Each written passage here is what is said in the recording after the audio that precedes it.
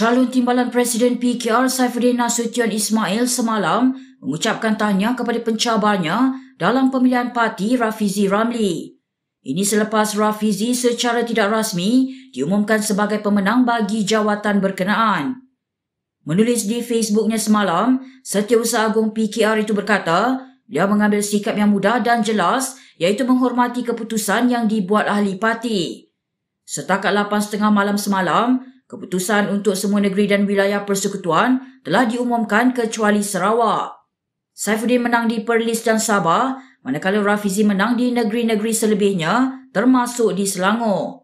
Setakat berita ini ditulis, Rafizi memperoleh 68,992 undi berbanding Saifuddin yang meraih 50,038 undi.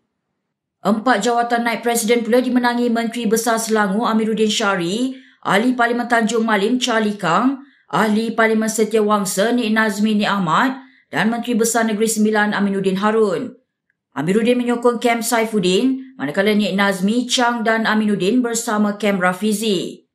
Sementara itu Saifuddin berkata, tumpuannya kini adalah untuk memastikan Kongres Nasional PKR pada Jun ini berjalan lancar di mana keputusan pemilihan akan diumumkan secara rasmi.